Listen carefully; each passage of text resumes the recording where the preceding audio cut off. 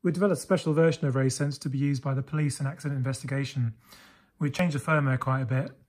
It still works automatically to sample tyre pressures, but it also allows wheels to be skipped so you can cope with missing or ruptured tyres.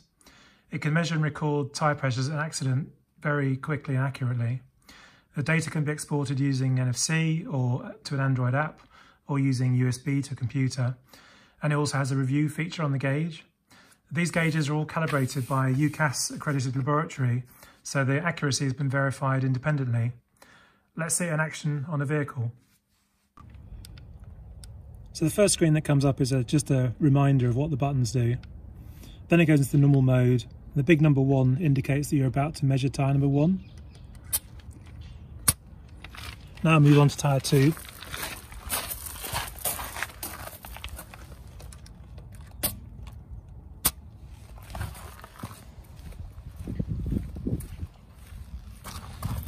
Okay, so this one, I'm going to pretend the tyre is ruptured, and so I'm going to miss this one. So I'm going to just press the top button, and now I'm going to move on to tyre number four.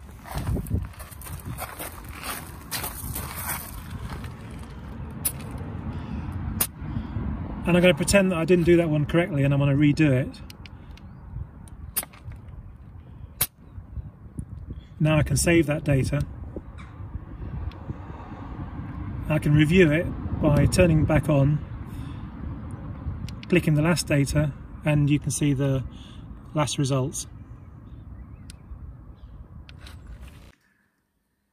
So I want to show you how easy it is to scan the data from your gauge into your phone. So you just open the app, put the top of the phone to the NFC antenna on the gauge, and that's it. If you click the data screen, you can see all your data in a big table clicking on the first two columns shows the record for that particular recording. You'll see all the tyre pressures for the vehicle. This one here was one that was missing when we recorded it, so it's recorded as zeros. You can add a vehicle registration number.